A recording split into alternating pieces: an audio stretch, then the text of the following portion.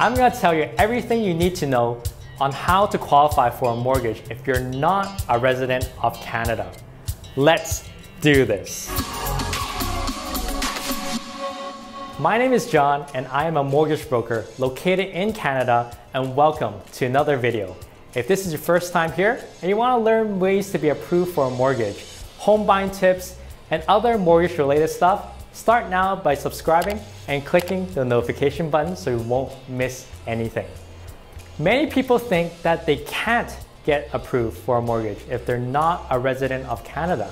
That's absolutely false and here's what you'll need to do to be qualified. The non-resident program offers a mortgage up to 80% of the purchase price for US citizens and 65% of the purchase price for the rest of the world. To confirm your down payment, we'll need your most recent 90-day bank statement to show the source of the funds. The qualifying mortgage amount is based on your income from your home country. And assuming no debt, the qualifying amount works out to be about 4.5 times of your annual income. For example, if you make 100,000 with good credit and totally debt-free, you can generally get approved for up to about 450,000.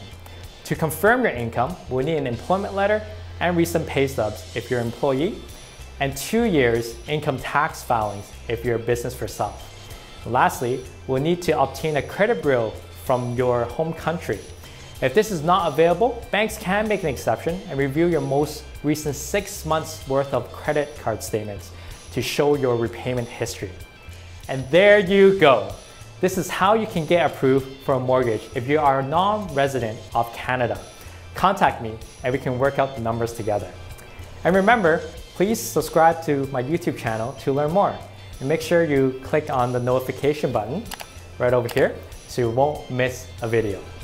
I'm John Lee, mortgage broker and CEO of Arise Mortgage. We are always achieving your approval.